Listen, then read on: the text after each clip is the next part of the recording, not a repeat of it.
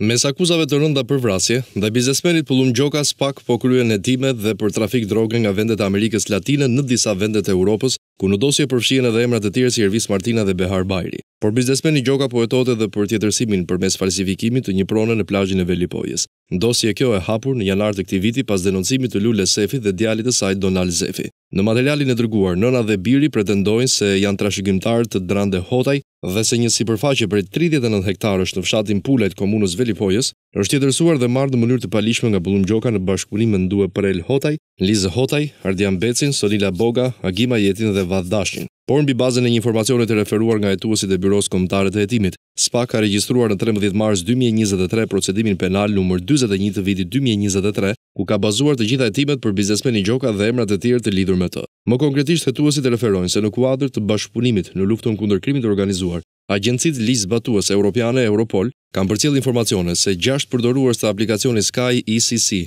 janë të përfshirë në aktivitet kriminal në fushën e krimeve kundër jetës, trafikimit të lëndëve narkotike të kryera në formën e grupit të strukturuar kriminal, falsifikim i dokumenteve dhe shpërdorim i detyrës nga funksionarë publikë. Ajo çfarë e përfshin biznesmenin Gjoka në falsifikim janë dyshimet se sipas bisedave të zbuluara, ata kanë komunikuar dhe ndërvepruar mes tyre lidhur me tjetërsimin e një sipërfaqeje toke në bregdet, duke falsifikuar dokumente shtetërore në bashkëpunim me disa shtetas të tjerë.